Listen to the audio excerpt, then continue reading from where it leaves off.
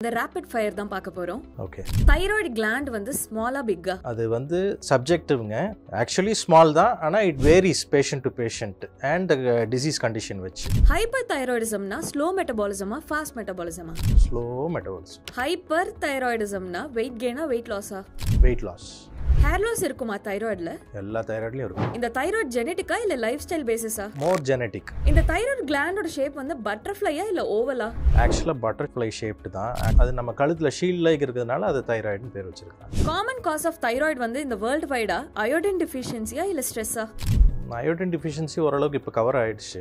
ஸ்ட்ரெஸ்ஸோட நம்ம autoimmune conditions சொல்லலாம். Can aggravate the autoimmune conditions உமனோட risk in thyroid ஹையா லோவா women have more high risk for thyroid issues. You can blame it on the hormones. கிட்ஸுக்கு thyroid issue வரலாமா? Possibility இருக்கு. Thyroid issue விசிபிளா இல்ல scan வச்சு தான் கண்டுபிடிக்கணுமா? அதுவும் டிபெண்ட்ஸ் இப்போ பிளட்லனா நம்ம டெஸ்ட் எடுத்தால் தான் தெரியும். கழுத்துலன்னா ஆப்வியஸாக பார்த்தாலே தெரியும். Thank you doctor thank you